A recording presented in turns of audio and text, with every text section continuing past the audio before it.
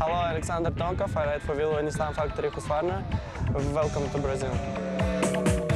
Hi, my name is Jeremy van Horebeek. I'm riding for Yamaha Factory Racing. We're in Brazil. Check out one lap around the track.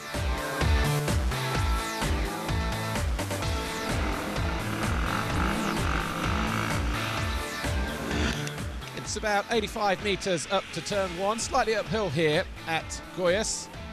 A nice wide 180 degree turn, banked through that left hand turn, and then a single on the exit through a slight bomb hole over a big roller going into turn two. Right hander, 90 degrees. A short straight, about 100 metres long, eventually takes you down past pit lane into another 90 degree right, turn three, and the first of the Monster Energy jumps. A small little plateau jump into a 180 degree left turn. On the exit of there, a series of waves, nine in total, turning right the way through the corner and then dropping down into this bottom corner here, turn four.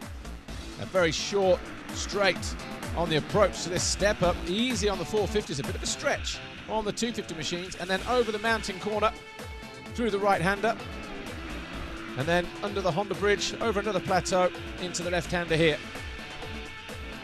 Start to drop downhill at this point of the racetrack over a small jump on a corner, and then it continues to swing left, dropping down through a bomb hole here, over a step up, about 20 metres long, turning right, and then continuing to drop downhill over the pond, step up. This part of the track a lot more open than the first half of the circuit. Turn 12, the long sweeping right hander has that jump midway through it before we start climbing back uphill again over the Monster Energy tabletop. Under the trees briefly through turns 13 into 14 and then it's about 110, 120 metres down this next straight back towards the main arena and the main grandstands. Turning right through here quicker than it looks. The first tabletop about 22 metres long, dropping into a nice bomb hole, 28 metres a second one. Swing right and then over the big quad, triple and single or quadding. Most guys opting to quad that. And then we end up in this left-hander. Very slow corner, but you need to be precise because you can double your way into the rhythm section and then work your way through it. Five waves through there.